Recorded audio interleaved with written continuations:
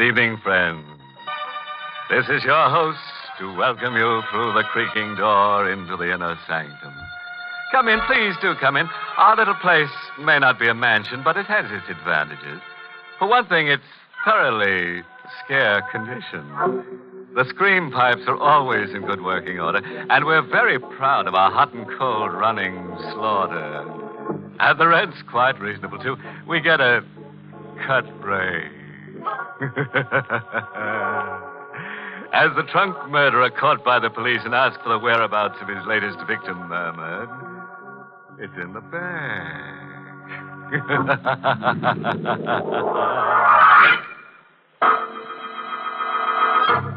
Tonight's Inner Sanctum Mystery, Bird Song for a Murderer, was written by Lou Vittes and stars Ted Osborne in the role of Carl with Arlene Blackburn as Elaine.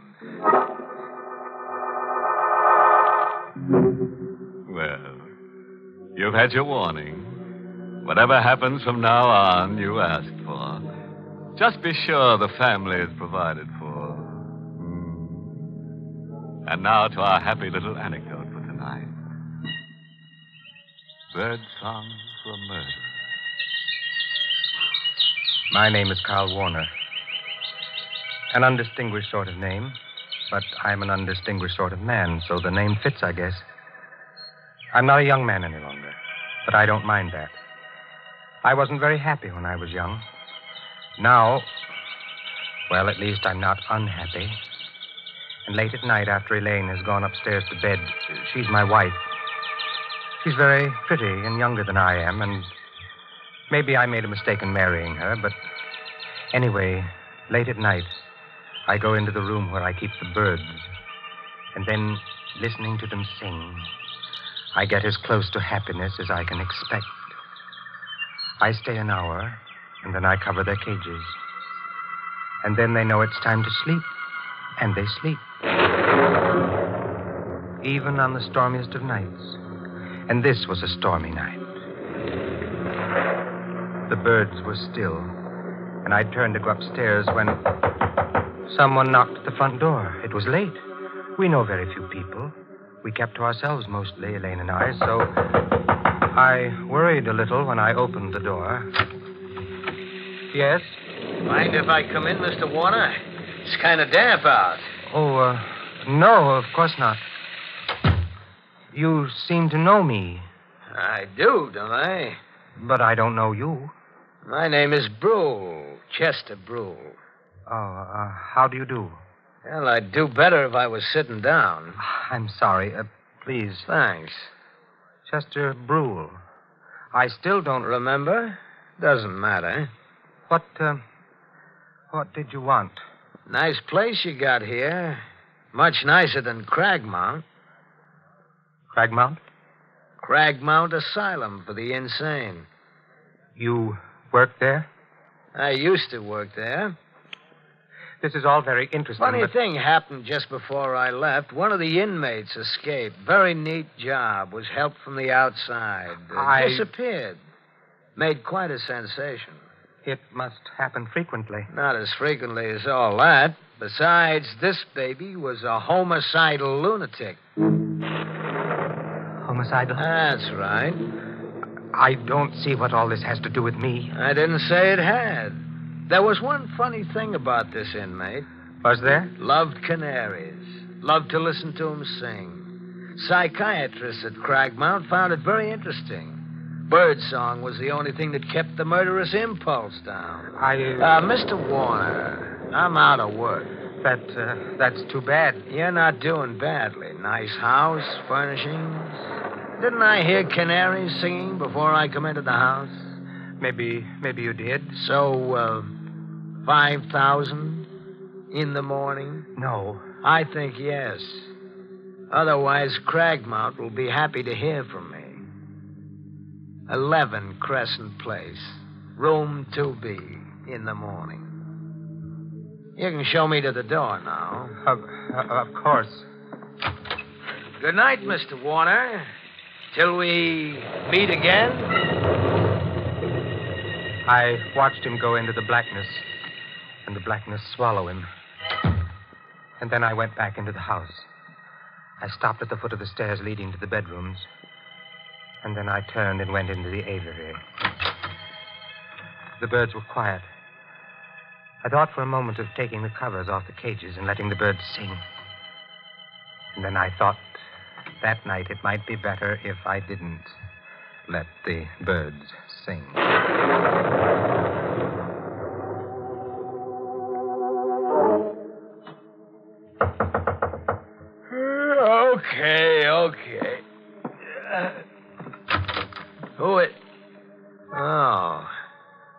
Wait till morning, huh? I didn't expect. Wait. That knife. No! No! Oh, I. I shouldn't have let you. Surprise.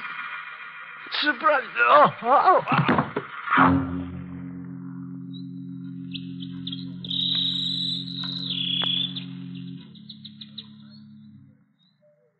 It had been a bad night. I couldn't have slept more than two or three hours. Fortunately, Elaine and I had separate rooms, and at breakfast the next morning, she was fresh and young and beautiful. Carl, Hmm? why are you staring at me in that funny way? Nothing. You really shouldn't read it, Niels. Oh, it's only the paper. So many exciting things happen. I can't wait till I get to them. Still, Oh, isn't that terrible? What is? A man was murdered last night. Not very far from here. Crescent Place. Crescent Place? It's an odd name. Chester Brule. Carl, your coffee cup. I'm sorry, but I. I wish you wouldn't read the paper. It says that his canary, he had a canary, Carl, was singing when the landlady found the body. Oh, that's pathetic. Elaine, I told you not to read that paper. Darling. Give it to me. Carl, tearing the paper up. What's the matter? I. I'm, I'm nervous this morning. I don't remember your ever having been like this before. I told you I was nervous. Look, darling, why don't you go into the aviary, listen to the birds for a while? You love them so, and they have such a nice effect on you. I went into the aviary, as she suggested, and listened to the birds. It was quite a little while before I stopped trembling. Carl, Yes, dear. come into the kitchen. All right. I've been washing the breakfast dishes, darling, and found this among them. The carving knife. Hmm, that funny? And, and besides, look at it. The blade's all covered with brown stains. I see. Sure, I washed it after dinner last night. Did did you use it for anything? No, darling. Give it to me. I'll wash it now. Oh, I can do it. I just wondered. Oh, the door. Will you? No, give me the knife. You answer the door. I said you answer the door. Well, all right, but there's nothing to shout about. I don't know what's the matter with you this morning. I washed the knife. Quickly but carefully. Very quickly. But very carefully. It Didn't take long. The the stains hadn't hardened much. The brown Carl, Yes? someone to see you, a, a man. What does he want? Well, he didn't say except that it was important. I'll go see him. He said he's a lieutenant from the police. There are 17 steps between the kitchen and our living room. I know, because I counted them while I was walking to see Lieutenant Gregg of the police. 17 steps to make my face polite, relaxed, smiling. But would I be able to hide the trembling of my hands? You're Lieutenant Gregg. My wife said you wanted to see me. That's right. Have I been parking in the wrong place again? I'm afraid this isn't so simple. Oh, you're beginning to frighten me. What is it about? Murder? Oh, Mr. Warner, did you know a man named Chester Brule? Chester Brule? Well, I, I can't say offhand. I've, I've such a bad memory for names. I, I may or may not. Why? He's the man who was murdered last night. Well, if I'd murdered him, I'd certainly remember his name. Of course, of course. You understand this is just routine. You see, we found your name and address in Brule's address book. I see. We thought you might be able to help us. The fact that my name was in his address book doesn't prove, Prove it. anything? Of course not. Would the fact that Brule used to be an attendant in an insane asylum mean anything to you? Why should it mean anything to me? Well, I didn't say it should, Mr. Warner. I just Well, it doesn't. Well, I guess that's that. Sorry to have bothered you, but we have to check every possible lead. I, uh, I understand. I'll be going along now. Well, let me take you to the door. Funny thing, there was a bird cage in Brule's room with a canary in it, singing its head off. Oh? Well, lots of people are fond of canaries. Oh, sure, sure. What was funny about it is that Brule's landladies swear Brule never had a bird. That, uh, that is funny. Way it looks, to kill and knife Brule and then left the cage and the bird in it behind him. Doesn't make any sense unless you figure the guy who killed Brule was insane. Lieutenant Gregg of the police walked down the front path, across the sidewalk to a small black car, and drove away. I shut the front door. The birds had been quiet, but the slam of the door maybe started them off.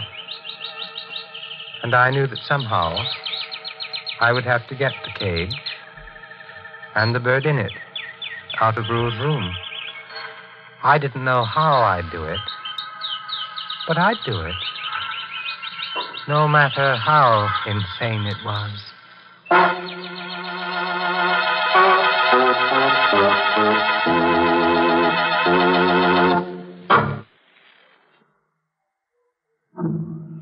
was dark when I got to Crescent Place. Dark on a lonely street. There was no one in front of the house. Nothing to show that a man had died inside, horribly, the night before. Blood welling from his throat. The door was open.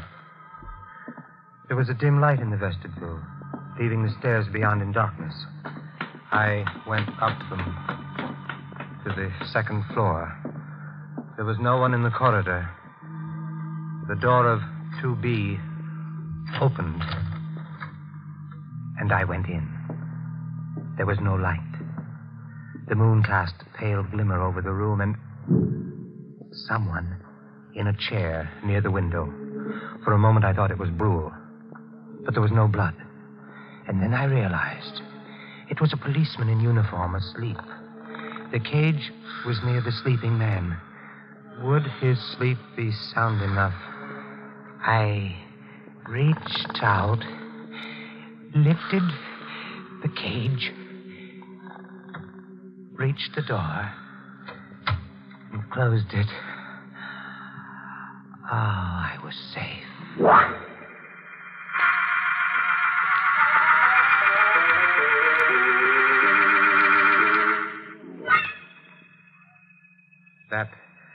That would be a problem.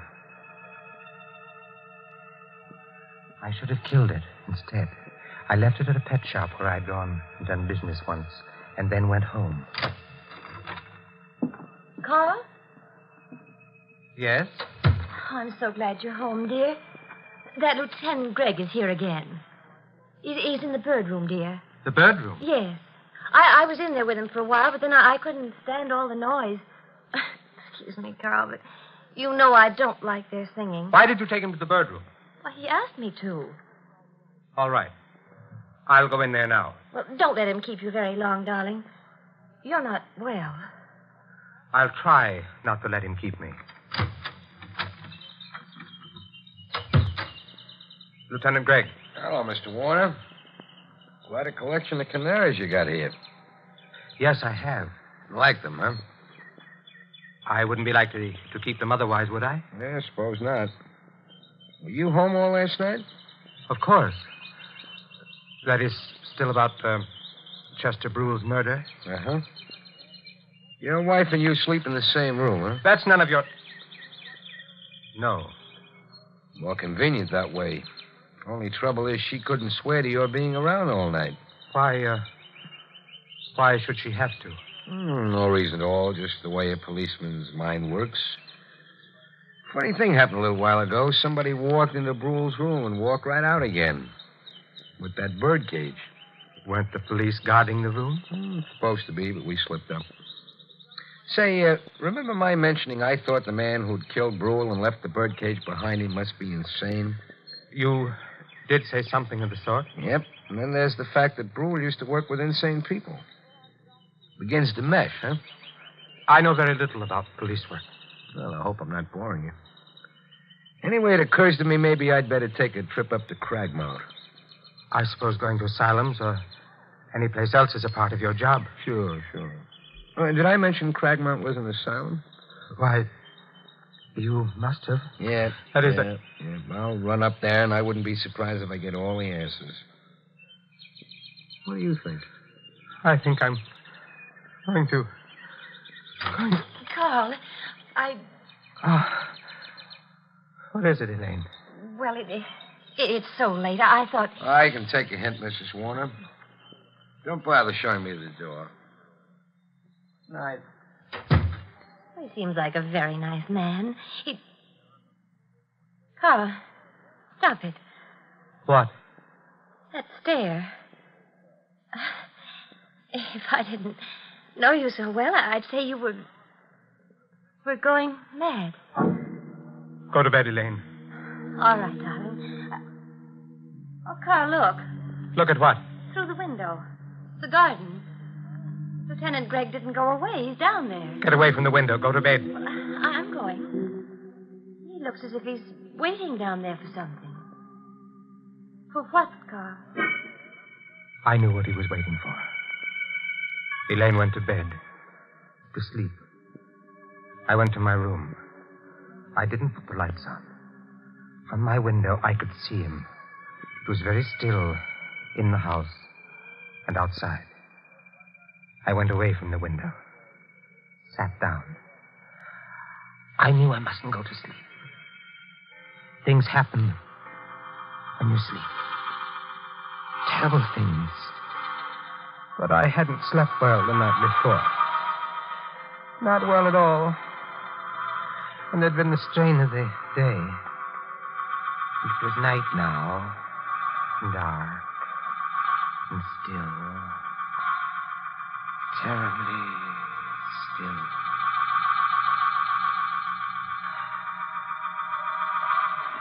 Mm-hmm, mm-hmm. Gargan? Gargan? I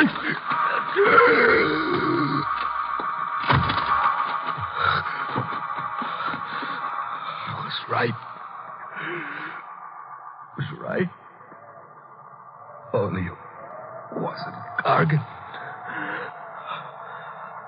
I'm cold.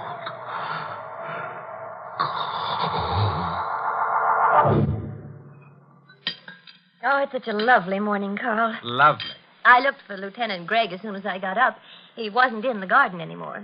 He must have got tired, gone home, or, or back to headquarters, uh, wherever policemen go. Oh, dear, that's the Swenson's dog. And he got into our garden again. I'll have to get him out. Elaine, don't. Darling, he'll dig up all the flowers looking for bones. I'd better go. Elaine! Maybe. Maybe he won't be there. Maybe somehow the truth isn't the truth, and I'm not. Elaine! Where are you? Oh, Here. What? Look. Lieutenant Gregg. His throat. Come inside. All right. The kitchen. Oh, Carl, where are you going? The kitchen. What, what are you doing? The drawer, silverware. Yes. Yes, it's here. The carving knife. That's right. Well, I thought you washed it last night. I guess you didn't. You'd be wrong. I did wash it last night. The stains are still there. The brown stains. These are fresh ones. Elaine, get out of my way. Uh, I've got to go to the bird room. Oh, Carl, please don't go away from me. Carl! I was holding the carving knife in my hand. I started to put it down. And then I held onto it anyway. It would make taking the covers off the cages awkward, but I held onto it anyway. The birds were still. They'd remain still unless I took the covers off. Elaine, Carl, you must tell me. What's wrong? don't come any closer. But Elaine, please. Not any closer. you. You've got that knife in your hand. Yes. The one with the brown stains. Oh, Carl. Don't say anything. Carl, the night before last. Elaine, don't ask questions. That's dangerous. You were out of the house No. last night when Lieutenant Gregg was killed. I was asleep. You have the knife, Carl. Yes. Give it to me. No. Please, Carl. No. Stay where you are. All right. You may keep the knife. Because. Look, Carl. A revolver. Yes. Lieutenant Gregg's revolver. I looked at her. There was a flush on her cheek. She was fresh and young and very beautiful and quite insane. Elaine, give that to me. Oh, no. No, I took it from Lieutenant Gregg last night. After he stopped crying. He always cry when you. Elaine. I didn't like the way you'd been looking at me, Carl. You were thinking bad things about me. You were thinking that maybe you'd have to send me back to Cragmount. I wasn't. You were, Carl. I knew you were. After Chester Brule died. Elaine. Stop where you are. All right. Keep but... your hand away from the birdcage. Don't pull the covers up. Don't! Carl. Carl, I've hurt you. Never, never mind. But I, I didn't want to. Oh, Carl. Are you going to cry? Like the others? I'll try not to. Because I wouldn't like that. I know. I'm sorry I hurt you. Doesn't matter. It was my fault. I loved you too well. I really killed those others. Not you, my dear. Oh, that's a very silly thing to say. And I'll become quite angry. I am quite angry.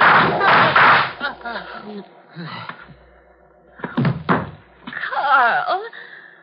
Carl, you silly. You pulled the covers off the cage. Carl. Oh, Carl, I'm speaking to you. Those, those birds, I don't like them. I... I... Carl?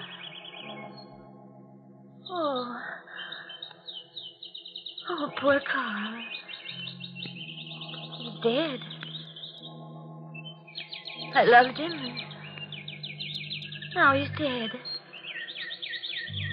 But anyway, he didn't cry. He didn't cry.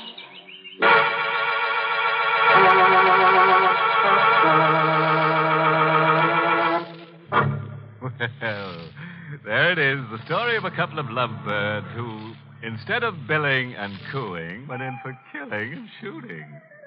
Of course, it was all little Elaine's idea. All Carl did was cover up. Too bad he got shot for it. However, the police would have nabbed him for murder anyway. So you could say he paid a high cover charge.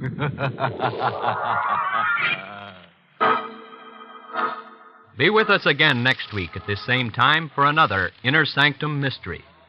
This program was originally heard in the United States over CBS, the Columbia Broadcasting System, and has been rebroadcast for servicemen and women overseas through the facilities of the United States Armed Forces Radio Service, the voice of information and education.